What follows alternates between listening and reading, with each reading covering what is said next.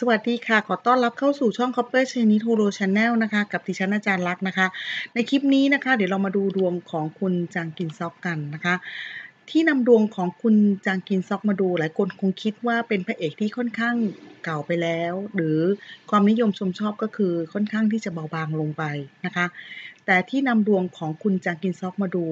เหตุผลเนี่ยคือ เป็นการบ่งบอกว่าในช่วงจังหวะชีวิตที่ดีที่สุดนะคะ แล้วก็ทำให้เขาประสบความสำเร็จสามารถต่อยอดในสิ่งที่เป็นอยู่ ไปสู่อีกจุดหนึ่งและก้าวเข้าสู่ความสำเร็จนะคะ และเรื่องของการเดินดวงนั้นสำคัญกับดวงชะตาไหมสำหรับบุคคลคนหนึ่งที่จะประสบความสำเร็จและสามารถยืนพื้นอยู่กับอาชีพตรงนี้ได้ในระยะค่อนข้างเวลาที่นานพอสมควรนะคะ จากจุดหนึ่งก้าวไปสู่จุดหนึ่งแล้วก็ ความสำเร็จนั้น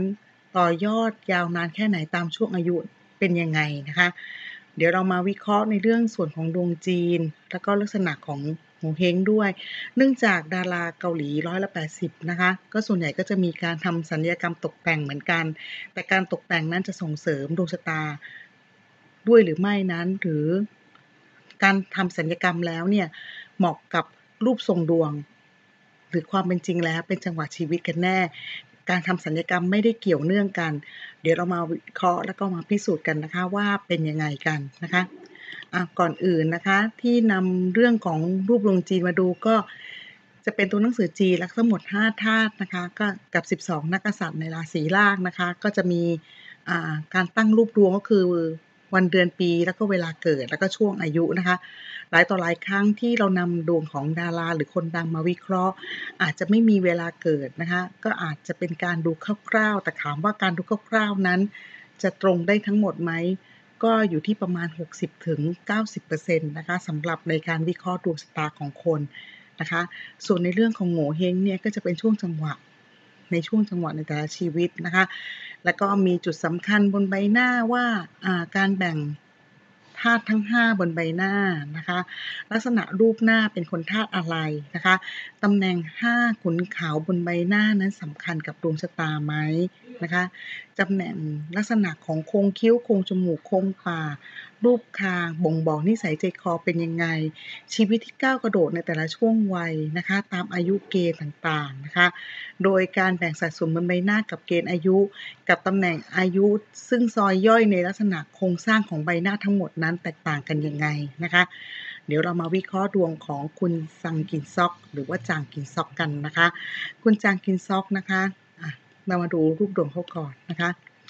เกิดเมื่อวันที่ 4 สิงหาคมปี 1987 ก็คือปี 2530 นะคะ เดี๋ยวเรามาะมาดูดวงกันแล้วมาคุยกันสักนิดนึงนะคะ คุณจางกินซอกเนี่ยนะคะ เป็นคนเกิดปีกระต่ายนะคะ แล้วก็เดือนเกิดเนี่ย ก็เป็นคนที่เกิดเดือนกรกฎานะคะ เพราะว่าเข้าสู่เดือนกรกฎาแล้วตั้งแต่วันที่ 7 กรกฎาแล้วก็จะกินยาวนาน ไปถึงเดือนอสิงหาคมประมาณวันที่ 6 หรือถึงวันที่ 8 ของทุกปีนะคะ การย้ายเดือนเนี่ยคืออะไร การย้ายเดือนก็คือในช่วงของนักษัตริย์จีนเนี่ยที่จะย้ายเดือนเนี่ยจะตกตั้งแต่วันที่ 5 ขึ้นไปนะคะจนถึงวันที่ 8 บางคนเนี่ย เกิดวันที่ 8 ยังอยู่ในเดือนที่แล้วอยู่เลยนะคะ เพราะว่าดวงจีนเนี่ยเวลาเขานับนะคะเขาจะนับเดือนเนี่ยค่อนข้างที่จะเลยวันไปเกือบหนึ่งอาทิตย์ก็คือ 5-8 วันนะคะสำหรับทางโหราศาสตร์ทางสากลเนี่ยนะคะเขาจะนับวันที่ 1 แล้วก็สิ้นเดือนถึงวันที่ 30 หลายคนก็จะรับเงินเดือนในช่วง 30 วัน อาจจะวันที่ 27 28 หรือ 25 26 อันนั้นก็ว่ากันไปนะคะสำหรับโหราศาสตร์จีนเราจะนับในลักษณะของการตัด ในช่วงของศาสตร์นะคะเอาเป็นว่าเรามาดูวันชะตาเกิดการวันชะตาเกิดเนี่ยเป็นคนธาตุไม้นักสัตว์ลักานะคะวันชะตาเกิดกับปีชะตาเกิดเข้าหลักชงนะคะคำว่าชงเนี่ยก็หมายถึงว่าการเดินทางหรือการอยู่นิ่งนะคะหมายถึงถ้าชีวิตเนี่ยไปอยู่ที่ต่างถิ่นต่างแดนเนี่ยนะคะจะเป็นลักษณะของการโดนเหมือนกับการปรับเปลี่ยนวิถี การดำเนินชีวิตไปหมดนะคะ ถามว่า ตัวเขาถือว่าประสบความสำเร็จไหมในเมื่อปีกับวันชะตาเกิดชงประสบความสำเร็จนะคะ เพราะว่าตำแหน่งความมั่นคงเขาอยู่ที่ตำแหน่งปี และเขาก็นั่งพื้นที่ที่ของการเริ่มต้นเนี่ยนะคะ ของปีชะตาเกิดนะคะ ช่วงวัยเด็กเนี่ยนะคะ ถือว่าธาตุเดือนเกิดกับปีเกิดเนี่ย นั่งพื้นที่แข็งแรงเป็นธาตุก่อเกิด ซึ่งเป็นธาตุของรากฐานของดวงชะตาตนเอง ก็แสดงว่าตัวเขาเองเนี่ยจะได้รับพื้นที่ที่แข็งแกร่งนะคะ จากถิ่นฐานแดนไกลก็คือ อาจจะเป็นคนที่เกิดที่หนึ่งไปอยู่ที่หนึ่งนะคะ เพราะว่าเกิดมาเดือนมะแม่ซึ่งเข้าหลักฮากับปีนะคะ จึงทำให้ตำแหน่งปีกับตำแหน่ง วันเนี่ยไม่ชง แต่พอเวลาเดินดวงชะตาแล้วสองตำแหน่งนี้ก็จะชงกัน เพราะว่าการเดินดวงชะตา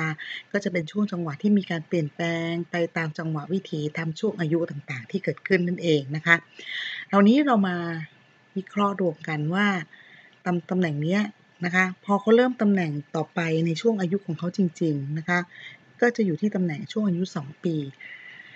ช่วงอายุ 2 ปีเนี่ยนะคะเขาธาตุเดินธาตุไฟนะคะ นักสัตว์มะเมียนะคะ แล้วก็นักสันมะเสงเนี่ยนะคะช่วงแรกเนี่ย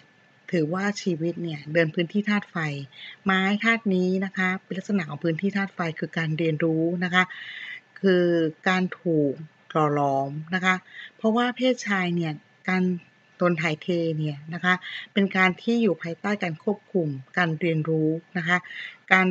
ปรับตนเองเข้าสู่สถานการณ์ต่างๆนะคะ เพื่อทำให้ตนเองสามารถจะก้าวกระโดด เพราะว่าตำแหน่งราศีล่างทั้งสองตำแหน่งนี้เป็นพื้นที่ที่ดีสำหรับธาตุไม้วันชะตาเกิดซึ่งเป็นธาตุไม้อิ่มของดวงชะตาของคุณจางกินซอกนะคะ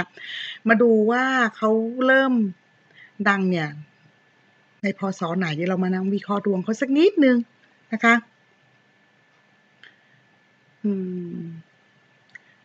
ที่เขาดังนะคะ เรามาดู ปี2009นะคะ เรื่องนี้ถือว่าทำให้เขาดังทั่วโลกเลยนะคะ ช่วงนั้นเขาเดินดวงเป็นธาตุไม้นะคะ นักสัตว์มาเสงถามว่าทำไมช่วงนี้ถึงดังและประสบความสำเร็จนะคะเดี๋ยวเรามามองให้ชัดเจนขึ้นนิดนึงธาตุนี้นะคะ เป็นพื้นที่ธาตุทอง เหมือนกับ พื้นดวงชะตาเขาเนี่ยเป็นธาตุไม้อ่อนแอนะคะ เมื่อมีธาตุเดียวกันมาช่วยนะคะทำให้ธาตุไม้ในแข็งแกร่งนะคะ และเป็นพื้นที่ธาตุทองซึ่งแข็งแกร่งกับตำแหน่งด้วย ถือว่าเป็นปีพุแตกนะคะคำว่าปีพุแตกก็คือว่าช่วงเดินดวงพุแตกส่งเสริมให้กับดวงชะตามีการเปลี่ยนแปลงเกิดขึ้น การเปลี่ยนแปลงเกิดขึ้นทำให้ตัวเองสามารถสร้างและประสบความสำเร็จนะคะ จากในช่วงจังหวะชีวิต นะคะ มาดูในอีกส่วนสุดท้ายเลยนะคะ พอมาเดินธาตุนี้นะคะ เข้าสู่ช่วงอายุอยู่ที่28นะคะ เพราะฉะนั้นเนี่ยเขาเดินธาตุไม้ธาตุตัวเองเนี่ยตั้งแต่ช่วงอายุ 18 ปี 8 เดือนนะคะเขาเกิดปี 2005อ่าเดี๋ยวเรามานับพศเกิดกันสักนิดนึงนะคะ 1 9 87นะคะลบ2009นะคะ ช่วงนั้นอายุ 22 ปีนะคะ ตอนที่เล่นละครเรื่องนี้นะคะ2009ช่วงอายุ 22 ปีเดินดวงธาตุนี้ ซึ่งเดินตั้งแต่อายุ 18 ปี เพราะฉะนั้นเนี่ย ถ้าเราย้อนไปดูอดีตของคุณจางกินซอกเนี่ย จะเห็นผลงานของเขาโดดเด่นขึ้นตั้งแต่ช่วงเขาอายุ 18 ปีอย่างแน่นอนนะคะ ลองไปนับดูนะคะสำหรับคนที่เป็นแฟนคลับของคุณจางกินซอกนะคะ เรามาดูกันอีกสักนิดนึงว่าทำไมเดินธาตุนี้นะคะ ปัจจุบันเนี่ยเดินอายุ 28 แล้วเกิด 2,530 นะคะ ลบ 2,563 ก็อายุที่ 33 ปีเดินธาตุนี้นะคะ ทุกวันนี้เป็นนักร้องอยู่ที่ญี่ปุ่นนะคะ อาจจะไม่ค่อยได้เห็นผลงานของเขาสักเท่าไหร่นักนะคะ ที่นำดวงของเขามาวิเคราะห์อยากจะให้รู้ว่าช่วงจังหวะชีวิตนั้นสำคัญไหมนะคะ เดี๋ยวเรามาวิเคราะห์ในอีกส่วนหนึ่งนะคะ ว่าในปี 2009 หรือปี 2552 เนี่ยนะคะเข้าปีหัวทำไมเขาถึงประสบความสำเร็จ ช่วงนั้นเขาเดินเป็นธาตุไม้ ซึ่งเป็นธาตุไม้ที่แปลธาตุการปรับเปลี่ยนตัวเองเพื่อสิ่งอื่นนะคะ และเข้าหลักธาตุกับปีนะคะ ก็หมายถึงจะเป็นที่รักจะได้รับทรัพย์ เป็นโอกาสในช่วงชีวิตจังหวะนั้นสำหรับดวงชะตาเขานะคะ เดี๋ยวเรามาวิเคราะห์ในเรื่องของธาตุต่างๆนะคะ แล้วก็ดูว่าในอนาคตเขาดวงเขาจะเป็นยังไงนะคะลักษณะดวงธาตุนะคะคนธาตุไม้อีกไม้เล็กนะคะ ไม้เล็กในพื้นที่ที่ดีคือธาตุไฟ พื้นที่ธาตุไม้เป็นพื้นที่ของตนเองนะคะ แล้วก็การเข้าหลักฮะก็คือพื้นที่สำคัญ พื้นที่ตรงจุดนี้เป็นพื้นที่ของทรัพย์สิน พื้นที่ตรงนี้เป็นพื้นที่แข็งแกร่งของธาตุไม้ธาตุพื้นที่ธาตุไฟก็เป็นพื้นที่แข็งแกร่งของธาตุไม้นะคะ ลักษณะของธาตุไม้เล็ก ก็คือคล้ายๆ ไม้เลื้อย ไม่ว่าจะเป็นไม้พูด่าง ไม้ล้มลุกนะคะ ไม้ที่สามารถยืนต้นในน้ำสามารถเติบโตจากการเกาะกับไม้ใหญ่ได้นั่นเองนะคะ มาดูลักษณะโครงสร้าง ต่างๆ ของรูปดวง คนธาตุไม้อีกเนี่ยนะคะธาตุไม้เล็กเนี่ยนะคะก็จะแบ่ง 6 ธาตุก็ก็ทั้งหมดอีก 6นักษัตริย์ที่จะเป็นคู่นะคะคู่อิ๋มนะคะการจับคู่อิ๋มเนี่ยนะคะอย่างคุณจังซอกเนี่ยนะคะเป็นไม้อีกนะคะนั่งนักสัตว์ละกาเป็นพื้นที่ที่อ่อนแอเพราะว่าเป็นพื้นที่ธาตุทองไม้อยู่ในพื้นที่ธาตุทอง ก็คือไม้ที่เข้าสู่ฤดูฝนนะคะถามว่าฤดูฝนมันไม่ดีหรือสำหรับธาตุไม้เล็ก คือไม้เนี่ยจะได้รับแต่น้ำและมีความชื้นมากก็จะไม่สามารถเติบโตนะคะลักษณะของไม้เลื้อยเนี่ยพยายามที่จะขอให้มีน้ำเลี้ยงแล้วเขาก็จะเติบโตไปโดยเกาะไม้ใหญ่ นะคะเพื่อสร้างความเจริญเติบโตและความมั่นคง ความมั่งคั่งให้กับตนเองนะคะเพราะฉะนั้นคนธาตุไม้เล็กเนี่ยจะมีข้อดีตรงจุดที่ว่าเขาสามารถปรับเปลี่ยนตัวเองได้ตามสถานการณ์นะคะแล้วก็จะสามารถเติบใหญ่ได้ในสภาวะ ที่เหมาะสม การได้รับผู้หลักผู้ใหญ่ให้โอกาสในชีวิตจะเป็นสิ่งที่ดี และสร้างความสำเร็จให้กับคนธาตุไม้นะคะอะเดี๋ยวเรามาดูลักษณะของโครงสร้างใบหน้าของเขา แล้วเดี๋ยวเราไปทายดวงในช่วงหลังจากนี้ไปต้องคือตั้งแต่ปี 2563 นะคะ กับการที่เขาเดินดวงเป็นธาตุที่การเปลี่ยนแปลงอีกธาตุหนึ่งก็คือธาตุไม้ใหญ่เหมือนกันที่เขาเหมือนกับตนเองเนี่ยต้องพึ่งธาตุไม้นี้นะคะ และเป็นยังไงนะคะ เดี๋ยวเรามาดูว่าลักษณะโครงสร้างใบหน้าของคุณสังกินซอกเนี่ย ถ้าเรามองตั้งแต่ช่วงที่เขาเล่นละครใหม่ๆเนี่ยนะคะ เราจะเห็นว่าลักษณะรูปหน้าเขาเนี่ยลักษณะจะคล้ายๆโคนิดหนึ่งนะคะ ถามว่าเป็นกึ่งธาตุไฟไหม ถ้าเรามองดูเนี่ยเป็นลักษณะธาตุรูปหัวใจ แต่ก็ไม่ได้เป็นรูปหัวใจทีเดียว ถ้ามองจริงแล้วเนี่ยก็คือถ้าเรามองประยุกต์เราจะมองเห็นว่าเป็นคนธาตุไม้ คือลักษณะโครงสร้างใบหน้าในยาว แล้วก็มีคางแหลมนะคะ แต่ ถ้าเราตัดช่วงด้านหน้าผากไปปุ๊บเนี่ยจะเป็นลักษณะคนธาตุทองทันทีนะคะ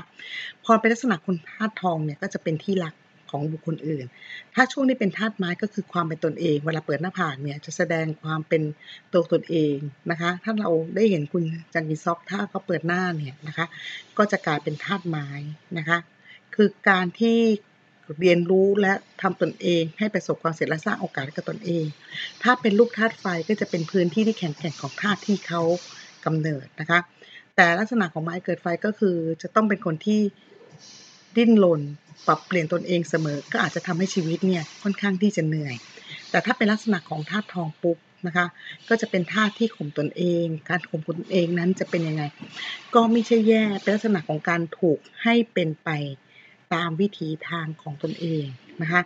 ลักษณะโครงสร้างที่ได้มาจากการเป็นคนลักษณะรูปหน้านี้นะคะกับจังหวะในชีวิตที่เข้ามาทำให้ตัวเราต้องเปลี่ยนไปเป็นอีกจิตหนึ่งนะคะและก็ควบคุมให้ตนเองอยู่ในกรอบของตนเองนะคะถ้าคุณจันนิซอกเอาผมลงนะคะก็จะกลายเป็นธาตุทอง เมื่อเป็นธาตุทองเนี่ย เราจะเห็นเขาในอีกบุคลิกหนึ่ง ความน่ารักถามว่ายังมีไหมความมีเสน่ห์ยังคงมี แต่เมื่อเป็นลักษณะของใบหน้าท่าทอง ซึ่งเป็นท่าที่ข่มดวงชะตา ก็คือเขาถูกให้เป็นแบบฉบับในการที่จะต้องควบคุม ไม่สามารถแสดงความเป็นตัวเองของตัวเองเต็มที่นะคะ แต่ถ้าเมื่อเปิดหน้าผากหรือออะไรที่ชัดเจนขึ้น ก็เราก็จะเห็นเขาในการ มีความเป็นตัวตนเองขึ้น มีอิสระเสรีภาพมากขึ้น อย่างเช่นในช่วงการให้สัมภาษณ์หรืออะไรต่างๆ ถ้าเขา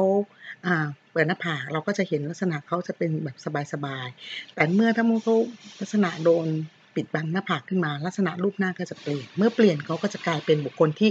ถูกกำหนดโดยรูปแบบของสถานการณ์ต่างๆ นั่นเองนะคะเดี๋ยวเรามาดูลักษณะโครงสร้างใบหน้าเขาสักนิดนึงนะคะ หน้าผากเป็นคนที่หน้าผากดีมากนะคะ จุดส่วนหน้าเมื่อเราแบ่งสัดส่วนบนใบหน้าอะเดี๋ยวเราดูตัวอย่างนิดนึงนะคะเมื่อกี้ที่จะพูดก็คือลักษณะใบหน้านะคะแบ่งสัดส่วนทั้งหมดสามส่วนนะคะสัดส่วนตรงนี้คือช่วงอายุนะคะของหญิงและชายซึ่งจะแตกต่างกัน แล้วก็อารยนะบนใบหน้าทั้งหมด 5 สัดส่วนนะคะห้าส่วนนั่นเองนะคะก็คือคิ้วตาจมูกปากหูนะคะคราวนี้ แล้วก็ลักษณะของห้าขุนเขาบนใบหน้า แล้วก็ตำแหน่งด่านทั้ง 13 บนใบหน้าคือตำแหน่งนี้นะคะ เมื่อกี้เรามองลักษณะโครงสร้างใบหน้าหน้าผากของสังเกตซอกถึงจุดนี้จะดีมากนะคะเพราะฉะนั้นช่วงวัยเด็กตั้งแต่อายุ15 ขึ้นไปเนี่ยถือว่าตำแหน่งเนี่ยครบสวยก็ถือว่าจะได้รับโอกาสและประสบความสำเร็จตั้งแต่วัยปฐมวัยนะคะ เมื่อเรามองดูนะคะตำแหน่งหน้าผากของเขาดีนะคะ คนหัวเถิกหัวยาวจะค่อนข้างดี แต่ช่วงนี้ต้องห้ามแคบนะคะ ลักษณะคิ้วลักษณะหัวคิ้วยกนะคะ เป็นคนที่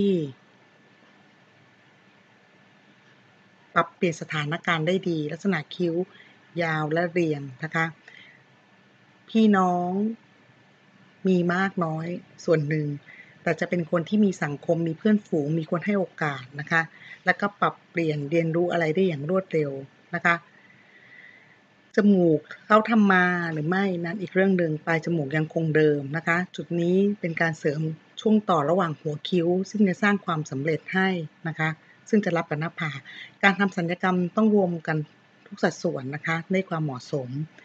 มาดูลักษณะรูปหน้าช่วงนี้มีช่วงนี้แคบนะคะช่วงนี้เขายังอายุยังน้อยนะคะ ไม่เกี่ยวกัน นี่เราจะตัดไปอยู่แค่ตรงสุดตรงจุดนี้นะคะ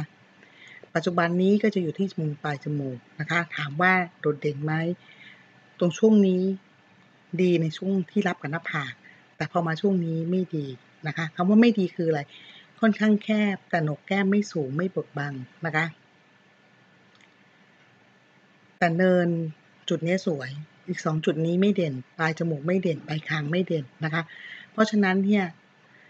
พอเริ่มอายุตั้งแต่ 25 ปีขึ้นไปแล้วเนี่ยความโดดเด่นก็จะต่ำลงนะคะ มันเป็นตามจังหวะ ตามเส้นตามช่วงจังหวะชีวิตนั่นเองนะคะ แต่ถามว่ายังคงอยู่ได้ไหมลักษณะเป็นคนมีแก้มนะคะ ก็เลยจะยังได้รับโอกาสที่ดีเสมอนะคะ ชีวิตเนี่ยไม่ได้ลำบากมาก ถือว่าดี แต่ว่าจะมีชื่อเสียงโด่งดังไหมต้องประกอบกับทั้งหมดที่มีเนิน นะคะ ส่วนใน 13ดาวใบหน้าถือว่าไม่เสีย เมื่อเรามองตำแหน่งแล้วในส่วนนี้จะสวยนะคะ จุดนี้พอใช้ได้ส่วนปลายนี่จะค่อนข้างแคบเล็กแต่ต้องมาดูช่วงอายุเขาอีกทีหนึ่งนะคะ มาดูเรื่องของใบหูใบหูเขาเป็นลักษณะใบหูกลางออกนะคะ เป็นคนที่เรียนรู้อะไรไวแล้วก็มีอิสระภาพในด้านความคิดนะคะ ชอบคิดอะไรที่แผลงจากสิ่งที่เคยเป็น และสิ่งเหล่านี้จะสร้างความสำเร็จให้กับตัวเขานะคะ ดี๋ยวเรามาดูในช่วงอายุของเขาอีกสักนิดนึงว่า หลังจากนี้ไปเนี่ยเขาจะมีโอกาสประสบความสำเร็จอีกไหมตามลักษณะเรื่องของรูปดวงชะตานะคะ เมื่อเรามองไปเห็นรูปดวงชะตาของเขาในรอบปีตั้งแต่ปี 2563 2564 เป็นพื้นที่ธาตุน้ำนะคะ ลักษณะของไม้เนี่ยนะคะไม่ชอบพื้นที่ธาตุน้ำนะคะ ลักษณะพื้นที่ธาตุไม้กลุ่มนี้ดีราศีธาตุบนเป็นธาตุน้ำเพราะฉะนั้นเนี่ยจะได้เห็นผลงานของเขาเด่นอีกทีหนึ่งในปี 2565 นะคะ ถามว่าสำคัญไหมสำคัญนะคะสำคัญในอีกรูปแบบหนึ่งน่าจะมีผลงานให้เห็นอย่างแน่นอนนะคะ เดี๋ยวเรามาดูว่าการที่เขาเดินดวงชะตาช่วงนี้เป็นยังไง รูปดวงชะตาของเขาเป็นลักษณะของธาตุที่เกี่ยวกับเรื่องของการเรียนรู้ มีแบบฉบับจากผู้หลักผู้ใหญ่เป็นเกณฑ์ในการตัดสินและสร้างความสำเร็จ แต่ถ้าเขาเล่นละครบทที่หนักจะไม่ส่งเสริมกับตัวเขา แต่ถ้าเล่นละครเป็นบทที่เป็นอายุใกล้เรียงกับตัวตัวตนจะประสบความสำเร็จและได้โอกาสตรงจุดนั้น เมื่อเรามองดวงชะตาราศีธาตุตรงจุดนี้เป็นพื้นที่ธาตุทองนะคะ เป็นพื้นที่ที่ไม่ส่งกับดวงชะตา เป็นพื้นที่ที่ส่งกับตำแหน่งช่วงอายุนะคะ เพราะถามว่าตรงจุดนี้ดีไหม ช่วงอาชีพการงานกับต่างประเทศยังส่งเสริมด้านให้ประสบความสำเร็จและดีนะคะ และก็ตนเองเนี่ยก็ยังจะจะได้รับความนิยมจากการที่ถูกกำหนดให้เป็นอีกรูปแบบหนึ่ง เพราะฉะนั้นเนี่ยในช่วงอายุตั้งแต่ 28 จนถึง 38 ปี บางสิ่งบางอย่างที่ทำยิ่งทำก็ยิ่งกลายเป็นอีกแบบฉบับของสิ่งที่เป็นแบบที่ถูกกำหนดนะคะ ความสำเร็จที่ถูกกำหนดเอาไว้ ให้เขาต้องเป็นไปตามที่แบบฉบับของความสำเร็จตรงนั้นนะคะ ถามว่ารูปดวงของเขาเนี่ยเสียไหมพอมาตรงจุดนี้นะคะ ก็จะชงในปี 64 เพราะฉะนั้นในปี 2000อ่า2,565 นะคะ ถ้าเขาจะมีผลงานเขาจะประสบความสำเร็จและมีชื่อเสียงที่สุดในช่วงปีนี้นะคะ เพราะฉะนั้นเนี่ยสองปีนี้นะคะ โดยเฉพาะปี 2563เนี่ยเข้าหลักฮะนะคะ ส่วนในตำแหน่งปีเนี่ยเป็นหลักไห่แต่ถามว่าเสียไหมไม่เสียนะคะ เพราะว่าตรงจุดนี้กลายเป็นพื้นที่ธาตุทองที่แข็งแกร่งนะคะ ในปี 2563เนี่ยนะคะคุณจาคินซอกเนี่ยเข้าหลักฮะการถูกหลักห้าอย่างนี้และกลายเป็นพื้นที่ หมายถึงตัวเองเนี่ยจะมีการเปลี่ยนแปลงบางสิ่งบางอย่างเกิดขึ้นสำหรับตัวของคุณจางนิซอก จะเป็นในรูปแบบไหนเดี๋ยวเรารอดูกัน เพราะเขาเกิดมาในช่วงเดือนมีนาคมนะคะถ้าที่เราเมื่อกี้มองไปเขาเกิดเดือนสิงหาคมไม่ใช่มีนานะคะ เกิดเดือนสิงหาชีวิตจะมีการเปลี่ยนแปลงในช่วงเดือนกรกฎามิถุนากรกฎานะคะ ก็คือเดือนม้าอีกประมาณ 3-4 เดือนที่จะถึงมาจากที่ลงคลิปนี้ไปนะคะ เดือนมิถุนาปี 2563 ย่อมมีการเปลี่ยนแปลงเกิดขึ้นกับคน ที่เรานำมาพยากรณ์ก็คือคุณจากนิซอกนั่นเองนะคะ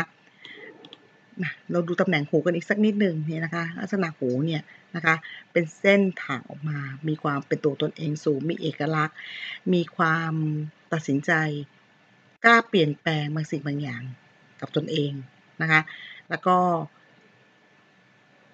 การเปลี่ยนแปลงคืออิสระภาพและความสำคัญในการตัดสินใจของคนลักษณะโครงสร้างใบหูแบบนี้นะคะ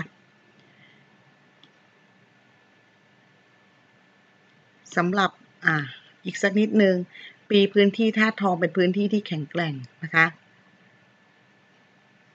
เนี่ยโดดเด่นคือปีนี้ 2513 จะมีการเปลี่ยนแปลงเกิดขึ้นนะคะ แล้วก็ 2564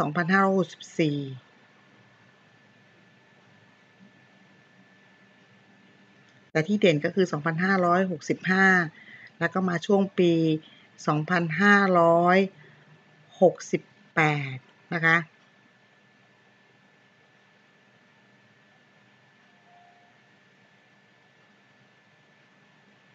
อีก ครั้งหนึ่งนะคะ เพราะฉะนั้นเนี่ยถ้าเรามองดูดวงชะตาของคุณจักรินซอกก็จะเห็นชัดเจนขึ้น ถามว่าในเมื่ออคุณจักรินซอกก็ประสบความสำเร็จ แล้วก็ถือว่าเป็นระดับแนวต้นๆแล้ว แล้วก็ค่อนข้างที่จะห่างหายไปจากซีรีส์ในเมืองไทยทำไมทางช่องตัดสินใจยังมาทำเพราะว่าการตัดสินใจทำรูปดวงของคนธาตุไม้เล็กนะคะ ในคลิปนี้เนี่ยเราจะดูดวงของคนธาตุไม้ที่เข้าหลักฮักกับปี 2563 ถือว่าเป็นลักษณะของดวงตัวอย่างนะคะ ให้หลายคนที่หันมา เข้าใจในเรื่องของรูปดวงจีนก็จะได้เข้าใจว่าถ้าคุณเป็นคนเกิดมาเป็นคนธาตุไม้ในรอบปีนี้คุณจะเป็นยังไงกับการเข้าหลักสัมพันธ์ การเข้าหลักสัมพันธ์มีทั้งหมด 3 ประเด็นนะคะ ประเด็นแรกคือพื้นที่ที่คุณยืนอยู่แข็งแรงสำหรับปีที่มาไหมและเรื่องราวที่มาเป็นเรื่องราวอะไร และเรื่องมาตรงนี้จะส่งผลกับดวงคุณแค่ไหน ถามว่าส่งผลดีไหมสำหรับดวงคุณจากกินซอกส่งผลดีสำหรับตัวเองในการเปลี่ยนแปลงนะคะ แต่จะส่งการเปลี่ยนแปลงเกิดขึ้นกับช่วงอาชีพการงาน เพราะฉะนั้นเนี่ยในรอบปี 2563 อาจจะมีโครงการอะไรใหม่ๆ หรืออาจจะหมดสัญญาและเปลี่ยนแปลงไปทำอีกแบบหนึ่งนะคะ เดี๋ยวเรารอลุ้นดูว่าคำพยากรณ์ในรอบปีของการที่เข้าหลักสัมพันธ์หลักหานั้น จะเป็นยังไงสำหรับดวงชะตาของคุณจากนิซอกยังไงเราอาจจะได้ข่าวข่าวของเขาบ้าง เพราะว่าก็ถือว่าเขาเป็นคนที่มีชื่อเสียงแล้วก็มีข่าวมากน้อยนะคะ แล้วก็อยากจะให้รู้ว่าช่วงชีวิตของคนที่ประสบความสำเร็จกับการมีลักษณะโง่เฮงตามจังหวะช่วงชีวิตในโครงสร้างของหน้าผากที่ดีนั้นเป็นยังไงนะคะสำหรับคลิปนี้นะคะคงจะได้ความรู้และสาระไปพอสมควรแล้วนะคะสำหรับคนธาตุไม้นะคะ คลิปนี้ก็คือดูเป็นลักษณะรูปดวงตัวอย่างละกันนะคะ แม้จะเป็นดาราที่เก่าไปบ้างนะคะ แต่ยังเชื่อว่ายังคงมีแฟนคลับ ที่ยังคงรักในตัวของคุณจากกิซอกอยู่นะคะ สามารถติดตามนะคะข้อมูล ความรู้เรื่องของภาษาจีนได้ทาง